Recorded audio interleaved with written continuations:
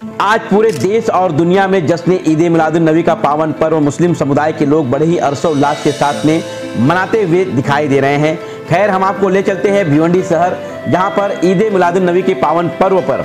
रजा academy और भिवंडी शहर के कई मुस्लिम समुदाय के लोग एक प्लेटफॉर्म पर एकजुट होकर एक जुलूस का आयोजन करते थे। लेकिन आपको बता दें कि पिछले दो सालों से जब से कोरोना महामारी का प्रकोप पूरे दुनिया में मंडराया है, जिसको लेकर जो त्यौहार है, उस त्यौहार में चार चाँद की बजाय फीकापन देखने को मिल रहा है। तो जश्न ईद मिलादुल नबी में भी वही चीज़ देखने को मिली।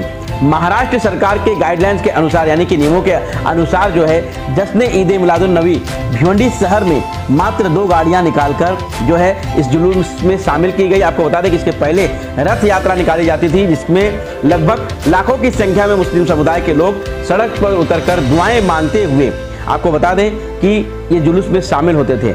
आप देख सकते हैं कि दो गाड़ियाँ जो है, मात्र बुलाई गई, जिसमें नात, यानी कि नात पढ़कर जो है ये जुलूस निकाला गया। क्वार्टर गेट मस्जिद से होते हुए चांदतारा मस्जिद, निजामपुरा, वंजारपट्टी, नाका, आरिफ गार्डन से ये जो जुलूस है समापन जहाँ पे किया जाता है, मामा भांजा ग्राउंड। वहाँ पर ये जुलूस को वहाँ पर इसका समापन किया जाता है। वहाँ पर दुआएँ मांगी जाती है।